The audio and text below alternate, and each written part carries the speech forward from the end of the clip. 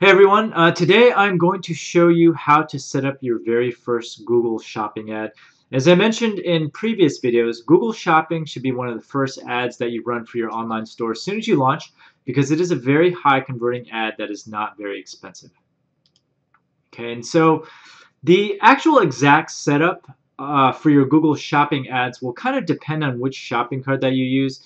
And I have videos that I'll show you how to set things up depending on which shopping cart you're on. But running a Google Shopping ad requires the following. You need a Google Merchant account. You need a merchant data feed from your shopping cart. And you also need a Google AdWords account. Now for instructions on how to set up your product feed from your shopping cart, please refer to the instructional videos posted above depending on which shopping cart you're actually using. But to get started, as I mentioned before, you do need a Google Merchant Center account, which can be signed up for at google.com slash merchants. And what you want to do is you want to set up your account, you want to add your online store URL, verify that the site belongs to you, there's going to be a whole bunch of directions that Google is going to walk you through.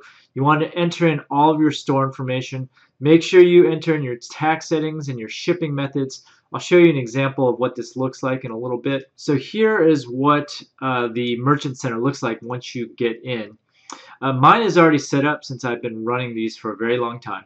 But basically you want to go under the Settings tab here and you want to set everything up. You want to go down and click on each and every one of these things. So I've already verified and claimed my website, but when you first create your Merchant Center account, it's going to ask that you verify and claim your website.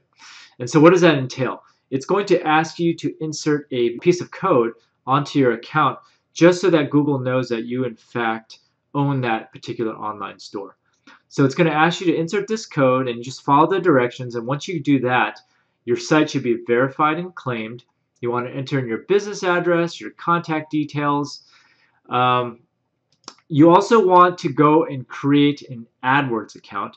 And you guys should have already done this if you were already doing the keyword research for Longtail Pro or Market Samurai, which requires an AdWords account. You're going to want to link that to your Merchant Center account so that Google AdWords knows where they're going to be drawing the products from. You make you want to make sure that you fill out all of your tax and your shipping methodology for your online store because otherwise your ads aren't going to show if Google does not have this information. And I think those are the only things that I tend to fill out. All these other things are not necessary, so mainly just the general uh, website claiming, uh, SFTP and FTP only is relevant if you plan on uploading like a spreadsheet of your products as opposed to using your shopping cart's automated facilities for, upload, for uploading your products. And again, I highly recommend that you use your shopping cart plugins, which makes FTP and SFTP completely unnecessary. Uh, you want to link your AdWords account here and set your tax and shipping methods. I think that's everything that you need. Okay, and once again, of course, you need to set up your shopping cart feed from your shopping cart to let the merchant center know where all of your products and that sort of thing resides. And once again, I'm not going to talk about that in this video because I have very shopping cart specific videos that will teach you how to add your product feed to the merchant center. Just a couple of diagnostic things, you know, as you're following the other video on how to set up your feed, uh, the merchant center will show you whether your feed is good. And in this case here, I've uploaded 470 products. Everything is green, which indicates that my product feed is okay. So once again, as you are kind of creating your shopping cart feed and uploading it to the Merchant Center, you're going to want to check here to make sure that your product feed looks good.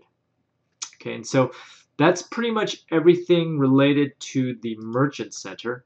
All the shopping carts that I recommend in this class, OpenCart, Shopify, BigCommerce, they make it so that the uploading of products through to the Google Merchant Center is completely automated.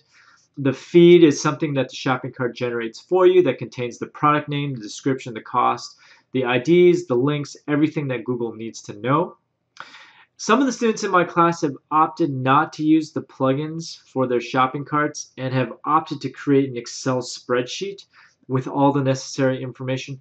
Once again, I don't recommend doing it this way, but you can go on the Google website, follow the directions, and then manually update your feed every 30 days. Okay, once again, as I mentioned before, most shopping carts have a plugin that automatically generates this feed. OpenCart, Shopify, BigCommerce all have automated ways to get the feed to the Google Merchant Center. You just need to activate it. And what's nice about using these plugins is that Google updates their feed requirements regularly. So by using the, the plugin for your shopping cart, it, you'll automatically be kept up to date with all the feed protocols. Okay, and so a couple of best practices for you know some of the images that you use in your feed and on your shopping cart. Make sure you use high quality images.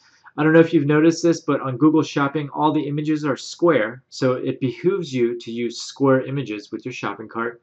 Make sure you fill out everything in the Google Merchant Center, including your tax and shipping info, otherwise your products may not show. And as I mentioned earlier with the demo, um, you should check on the Merchant Center to make sure that your feed is in fact good. Make sure your feed, all the products you've uploaded, is green in the Google Merchant Center. And there's a bunch of common errors with the feed, and in some of the other videos I kind of go through how to debug that, but Google will basically tell you what's wrong and you need to fix it. And finally, once you've got the Merchant Center and your feed set up, it's actually time to go into Google AdWords, set up an AdWords account, and then create your first shopping ad. And that's what I'm kind of going to walk you through in today's video. Okay, so I'm going to bring up my AdWords account here.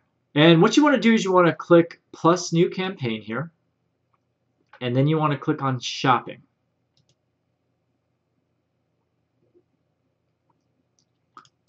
And I'm just going to name this test shopping campaign. The type is shopping. The merchant identifier, you know, if you've linked everything properly, it should show you the merchant account ID.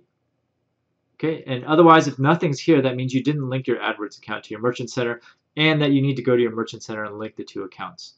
The country of sale should be your main country of sale. And I always click on, I'll manually set up my bids for click. Uh, just set the default at 10 cents because you're going to want to adjust the bid depending on your product category. Budget per day is whatever you're comfortable with. I'm just going to put 10 bucks here. And then I'm going to save and continue.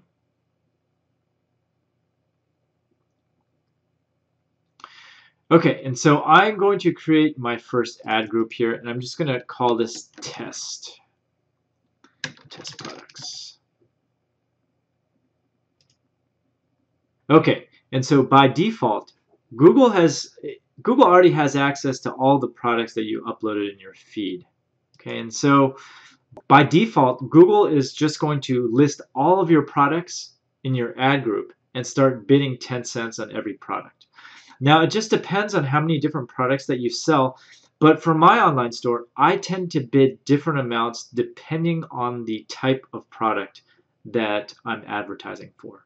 And so if you click on this plus sign here, you'll notice that Google has you know, categorized all of your different products based on your product feed. So in this case, I have apparel and accessories. I have 243 products there.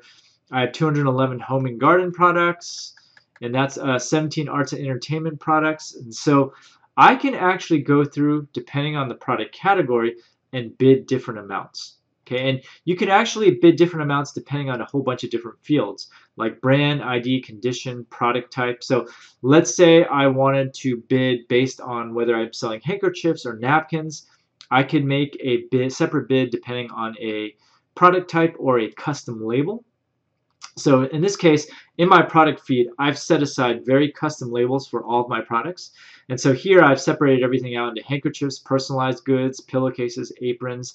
And so by adding, you know, different products, I can actually create different bids for each product type in my store. So in this case, I'm just going to choose handkerchiefs here. And as you can see here, now this allows me to bid a different amount for just handkerchiefs and a different bid for everything else.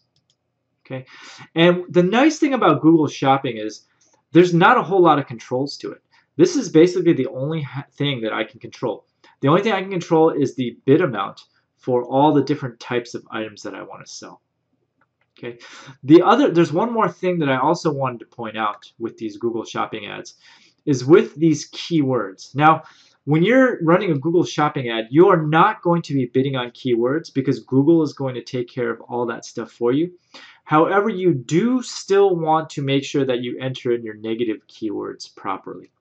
So for example, let's say I'm bidding on Google Shopping ads for handkerchiefs, but let's say someone is doing a search for paper handkerchiefs. Clearly, I don't sell paper handkerchiefs, and so I don't want my Google Shopping ads to show up for that keyword. As a result, I need to add paper handkerchiefs as a negative keyword for the campaign. Okay, but more or less, running your first Google Shopping campaign is as easy as what I just showed you. By default, Google will just create ads for you automatically with your default bid. And if you want to get more granular with your bids for each product, that is this is how you do it. You can separate and put separate bids based on every single field in your product feed. Okay, and so that's all there is to it to uh, run a Google product ad. So once again, once you've launched, I would try this first because it tends to convert very well. Okay, that's all I had for this video.